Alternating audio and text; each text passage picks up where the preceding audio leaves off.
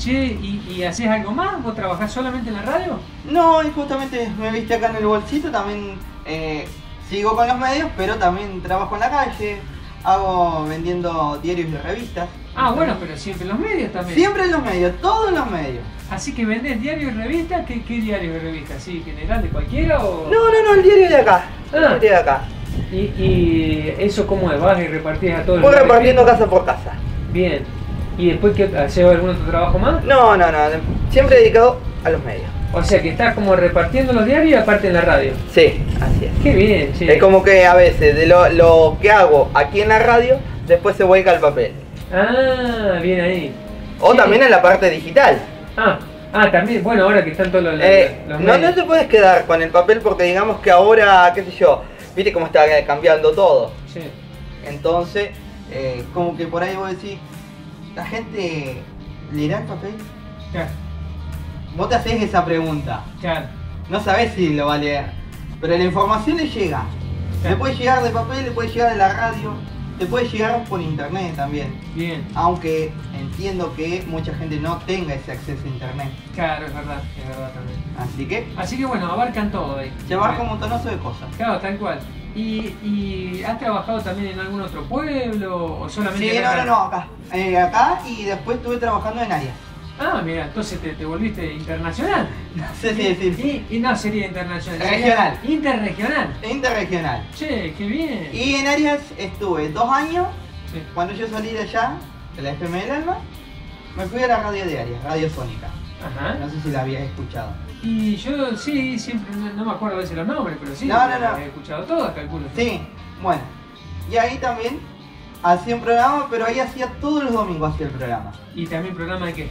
Todo deportivo, pero ahí me abocaba a lo que estaba pasando en el momento con los partidos de la liga. Ah, bien. Entonces me imagino que será un equipo de Córdoba, calculo yo.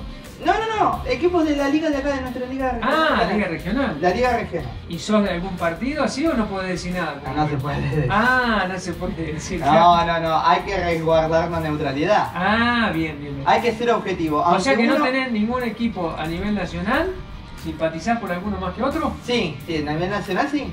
Ah, ¿y quién es? Eh, San Lorenzo. Ah, mirá vos. A nivel regional como que no Entonces se... está con el Papa. Claro, Bien. pero no, no se puede decir mucho a nivel Eh, local y regional. local. Ah, bien, bien, bien. Hay que hay que mantener la neutralidad. Bien. Che, ¿y la familia te apoyó en su momento? Siempre, ¿Cómo? siempre, siempre me apoyaron. ¿Cuántos son en la familia? Y eh, yo y mi mamá. Ah, bien. Entonces tu mamá siempre, Siempre te apoyó. estamos apoy- me apoyó cuando salí de un lugar, me apoyó en otro. Y bueno, ahora estoy acá. Ya estoy por entrar en un ratito, así que siempre con el apoyo de ella. Este, ¿te ¿Puedo ir ahí con vos cuando ya en el radio? ¿Sí? ¿Te puedo seguir? Sí, ¿Y vos vas ahora atrás? ahora en un ratito entro. Bueno, ¿querés, que vayamos yendo? Vamos. Dale, yo te sigo. Dale. ¿Es por acá, no? Es por acá, por acá. No quiero entrar con mucha confianza, digamos.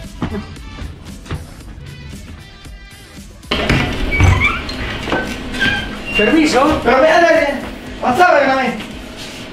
Che, Mati, mirá que, que. Así que este es tu lugar de trabajo. Este es mi lugar de trabajo. Mirá vos, che, qué bueno. Y ahí estoy para empezar mi programa. Las consolas, las Ah, computadoras. Todavía no empezó, ¿no? ¿Puedo- No, no, no. ¿Me puedo, sen- ¿Me puedo sentar? Sí. Permiso. Ah, para un ratito. Yo mira, ya, ya estoy cerca del micrófono, te puedo hablar algo del micrófono. Ya podemos hablar en conjunto. Che, así que, ¿y vos qué, qué- cómo es? A ver, un día normal tuyo, ¿eh? Un día normal tenés que llegar, vas preparando la música que vos querés que salga. Pero contame un día normal de tu vida. Ah, un día normal de mi vida. Sí, ¿cuándo, cuál, cuál- ¿qué hora arranca tu día? Y un día normal de mi vida por lo general el promedio arranca a las 9 de la mañana. Sí. 8 y media, 9. ¿Qué haces? Y salgo a la calle, reparto los diarios, las revistas. Y eh, a la tarde tengo el programa. Bien. Y por lo general es rutinario porque va saliendo, repartir los diarios, revistas. Eso está bueno. Y hay un día en la semana que vos vas a viajar a áreas. Ah, bien. Porque como te dije anteriormente, yo los vendo afuera. Bien. Ah, también los vendés afuera, bien. Los vendemos afuera, está la nueva de la semana. Entonces, Y eso está bueno porque te vas relacionando con la gente, vas escuchando las problemáticas. Muchas veces uno llega acá y escucha a la gente, necesito esto, necesito el otro. Entonces, eh, está bueno eso de relacionarse con la gente. bueno, entonces te levantás durante la mañana, eh, repartís diario, entonces va por todo el, El pueblo. En la bici va siempre. En la bici, en la bici. Bien ahí, es un buen ejercicio entonces. Eh, además hace un buen ejercicio. Exactamente. Bueno, después llegar a tu casa, comer, dormir una siesta, algo eso.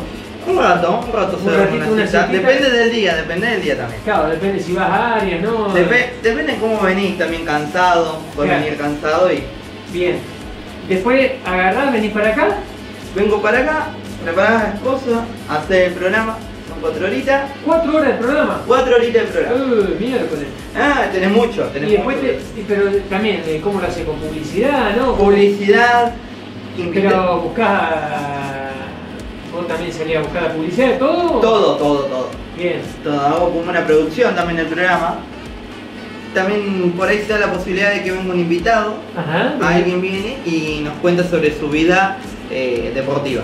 Bien. Eso es lo que más le hacemos nosotros hincapié. Bien, bien. Y después, a ver, eh, de ahí eh, terminás acá el programa, bueno, va, va a tu casa y Sí, te ve una película, o- ve- vemos televisión un rato y después algún programa deportivo, ¿no? un programa como para ver algún resumen, algo que me perdí. Bien. Y después ya a la Al- cena al- y a al- dormir. Al sobre, bien, Al sobre, como uno dice.